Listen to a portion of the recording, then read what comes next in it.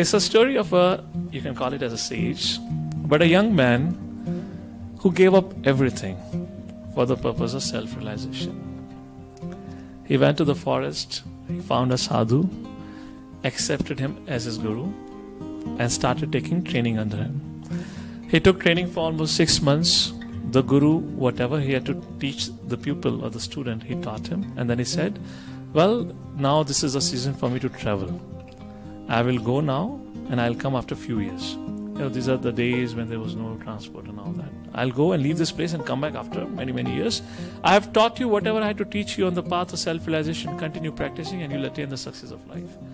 The young man or boy was excited. He said, Yes, Gurudev, I'll do it.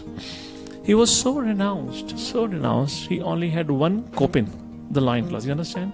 In English, we call it underwear or undergarment. He was so renounced. Nothing he had. He had given up everything. So, I mean, when you wake up in the morning, you have to take bath. Now, if you take bath, you cannot take bath naked. It's not that you go and take bath and come back and you sit naked till the time your kopin gets dried up. Because you're so renounced, you only had one kopin, you'll go take bath and come out and sit in meditation with a wet kopin, which is uncomfortable. If you ever wore a wet cloth, it's uncomfortable, isn't it? One day his friend visited him and he said, Are, what are you doing? Okay, I understand you want to walk on the path of self realization, but the whole purpose for which you gave everything was to meditate. Now you're sitting with this wet cloth on your body, you're not able to meditate. Why don't you get one kopin? That's all. So you'll have two pairs. One you wash, one you wear. So you'll have a dry kopin. The sadhu said, Yes, good idea, isn't it? So he got a new kopin. So he has two set of kopins. So when he'll go take bath, come back, he will hang his wet kopin onto the branch of the tree. And now it's a perfect scenario. He sit, I can peacefully meditate, body is comfortable, everything is comfortable.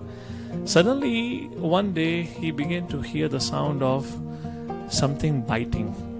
I cannot mimic or imitate the sound, but it was a sound of a rat chewing onto the kopin. This man got distressed. My only possession? The rat is eating away my possession. Now he cannot meditate. So again his friend came. What's the problem? You got one kopin, no problem. Get a cat. Cat will take care of the mouse. And you sit and meditate. Bola, wow, yeah, good point, good point, right? So you got the cat. And the problem was solved. Now, whenever the rat will come, the cat will chase away.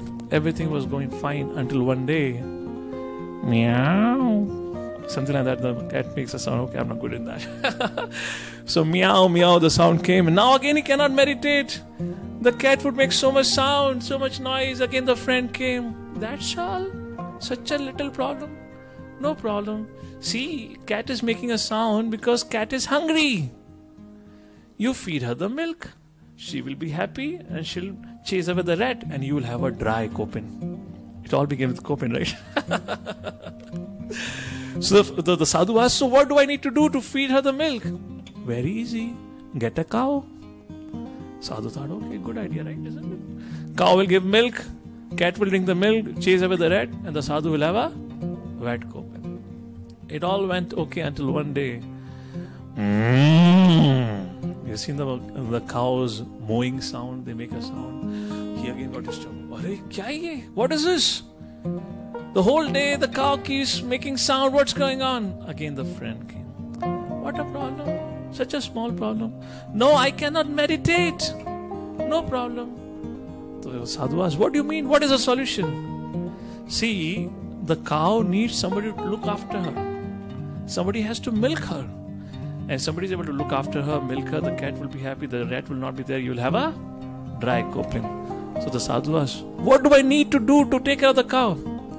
Get a wife. Isn't it a good idea? Okay, all right. A brahmachari got married. to save what? Kopin. the problem statement started from there. All right, he got married. Everything was okay until one day. The wife became very angry. क्या तमाशा बना रखा है? काम वाली समझा हुआ है। काम धंधा है नहीं। नदी के तट पर बैठे रहते हो आँखें बंद करके।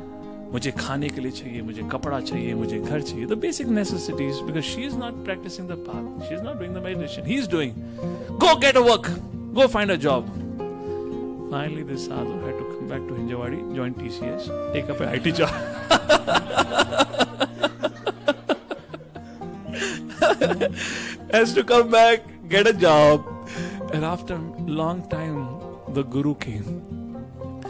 Where that underneath the tree that sadhu sat was now a big 3 BHK apartment. And the guru was shocked. And he saw a tired looking man with a head hanging down, with a briefcase in his hand, coming out of the 3 BHK apartment. And Guru recognized and the disciple recognized. Oh, ये तो मेरा वो ब्रह्मचारी था.